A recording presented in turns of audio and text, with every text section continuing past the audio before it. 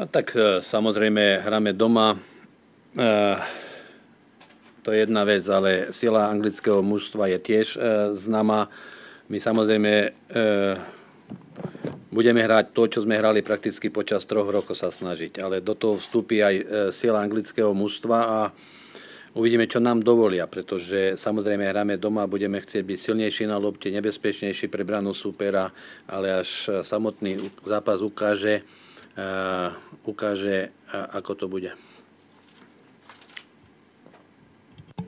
Well, um, of course, uh, we are playing at home, but we have to take into account the strength of the England team because it is well known. And uh, we will try to play in a way that we've been playing in the last three years.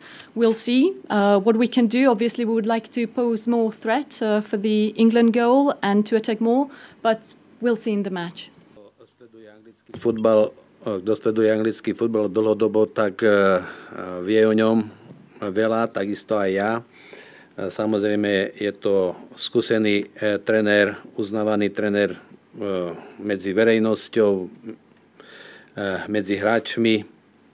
Je to anglický trenér, takže si myslím, že prišiel správny trenér, ktorý, ktorý má skúsenosti a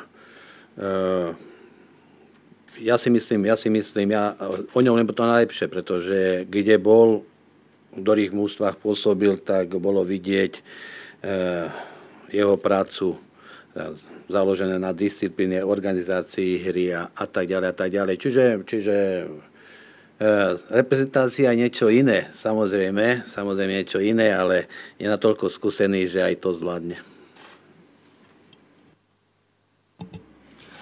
I think that those who have uh, observed English football and who know English football know Sam Allardyce, uh, and, and I know him as well. I know he's an experienced and um, recognized uh, manager.